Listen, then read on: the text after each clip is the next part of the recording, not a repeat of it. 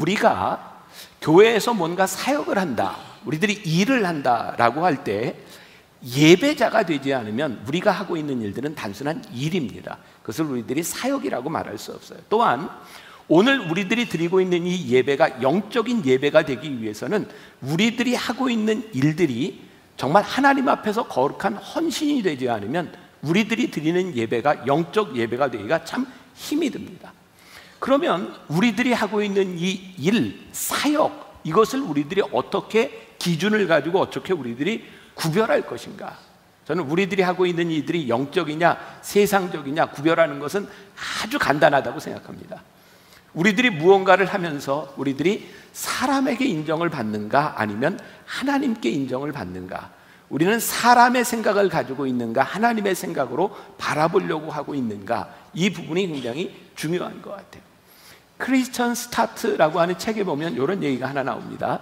어떤 교회 집사님이 세상을 떠나게 되었어요. 이분은 의사였는데 동네에서 아주 존경받는 그런 분이었답니다. 아, 목사님이 이렇게 장례를 집례하기 위해서 왔는데요. 그 상주인 아들이 목사님께 이렇게 부탁을 했답니다. 아, 목사님, 저희 아버지를 장로로 해주시면 좀 안 될까요?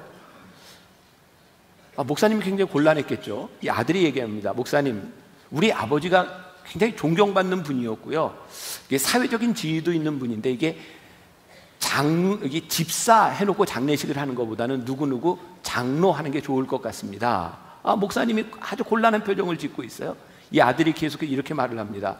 경찰이나 군인이나 공을 세우면 죽은 다음에도 일계금 특진 뭐 이런 거 있지 않습니까?